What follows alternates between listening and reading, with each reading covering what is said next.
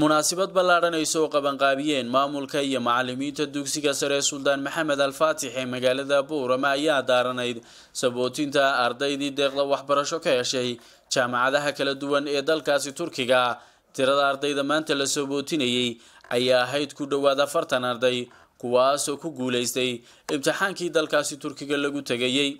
Sidoo kale munaasabadani waxay daaranayd la kulanka waalidiinta ardayda wax ka barta dugsigaasi iyo sidoo kale maamulka sare ee dugsigaasi waxaana munaasabadani oo ahayd mid si heersaraha loo soo qabanqaabiyey ka soo qayb galay waalidiin mas'uuliyiin kala duwan maamulka gobolka awdal iyo maamulka hay'adda xigma foundation kuwaasoo dhammaantood bogaadiyey ardayda maanta la sabootinayey ugu horreyntii waxaa xaggaasi ka hadlay guddoomiyaha hay'adda xigma foundation rofesor muuse maxamed diiriye sharaf bay noo tahay maanta inaad halkan aynu isugu nimaadno. Munaasabadan oo ah laba sababood.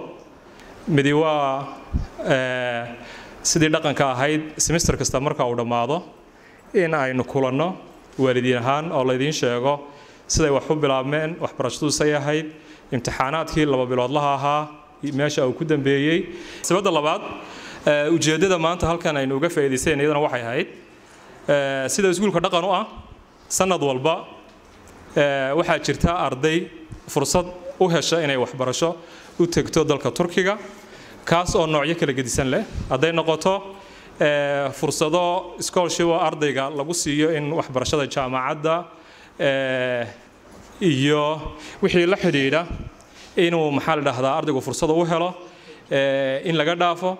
Qaar inay helaan full scholarship ay helaan maca iyo wax walba ay helaan. Sanadkii ugu dambeeyey arday dabcan afartan iyo siyaada ayaa baxday way jiraan colaysyo covid 19 uu keenay oo ardaydii sanadkan safarkii ugu dambeeyey ee bishii february waan soo wada maray dhammaantood taqriiban.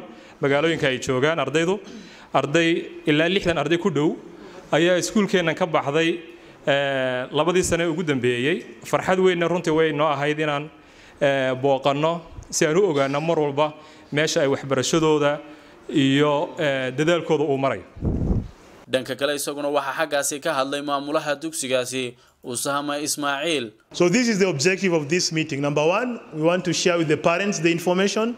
Number two, we are also going to give advice to our students. There are more than 36. They got scholarship to go to Turkey. geestooda iyaguna waxaa xaggaasi ka hadlay suldaan cabdiraxmaan jaamac dhowel iyo sidoo kale xubno ku hadlayay magaca waalidiinta ah ardayda wax ka barta dugsigaasi waxayna sheegeen marka hore maamulka sare iyo macallimiintaba waxaan leenahay adeerayaal hambalyo waanu bogaadinaynaa. Waxaan bogaadinaynaa oon leenahay ilaahay ha u soo dhib yareeyo. Ardaydeennii awlaaddeennii halkan ka baxday ee hadda tukriga waa qurbee qurbaha joogta ee maanta wax baranaysa waxaa ilaahay kuga baryayaa inay kuwa soo wax soo barta ee ku faa'idna allah inooga dhigo. Meeshu waa qurbe baydhbaydh badan bay leedahay wiilashaya gabdhaha ka baxaya iyagana waxaan leeyahay sagootigoogu safar khayr laha noqdo soo noqodkii malaagigta. Waxaan oran lahaa aan iska xil saarno caruurteena saan waxu bari lahayn. Iskuul baan waxaan xasuustaa hadduu sideed boqol imtixaanku yahay uu toddoba boqol ilmahaagu keeno. Waxaa lagu oranaya yumas inaad ilmahaaga atuushan u qabato ilmahaaga kor soo kiciso si ardayda kale uu ula mid noqdo. Inagu markaa waxaan leeyahay sidii kale aan noqono oo hadduu ilmaheenu toddoba boqol oo kale keenay inaynu ku farxini aan ku dadaalno inaan ka sii sarraysiino oo sideedii boqolee la rabay aan ku dadaalno. Insha allah hadduu ilahay idhahdo mid kale aan oran lahay maamuluhu aad buu wuxuu ugu dheeraaday iskuulka iyo waxbarashada.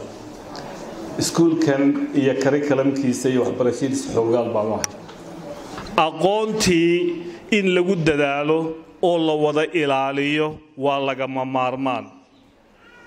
Waalidiintuna ku dadaalaan iskuulladuna ku dadaalaan wasaaradda waxbarashadu ku dadaasho. Ugu dambayntiina barasaabka gobolka awdal maxamed axmed caalim tiimbaro oo halkaasi ka hadlayna waxa uu sheegay. Inta ubadkeenna ee waxbaratay ee waxbarashaday dhammaysatay waa u ducaynaynaa. In ilaahay uu ku anfaco iyaga iyo innagaba intiina u diyaarkaa inay dabadda tagto waxay naga xigaan. Waa afartan cisho cudurkaa yar adduunyado dhan saameeyey na kala jaray marka halkan ka taqaan dhaqan baa sidataan. Dhaqan waddankiinnii iyo waalidkuun lahaa baa sidataan. Inantay kii hooyadaabaad wadataa. Inanka kii aabbahaabaad wadataa. Waxaa laydinka rabaa halkaa markaad tagtaan inaan idinkaga dhex lumine kiina ku adkaysataan. Aad baanu idinku mahadinaynaa waxaanu aad u ammaanaynaa macallimiintiina halkaa idin soo gaadhsiisay. Waxaanu aad u ammaanaynaa iskuulkan cidda gacanta ku haysa iyo dowladda ku tuuree gacanta inaga siisa waa cabdilaahi daahir wacays tv-ga caalamiga saab magaalada boorama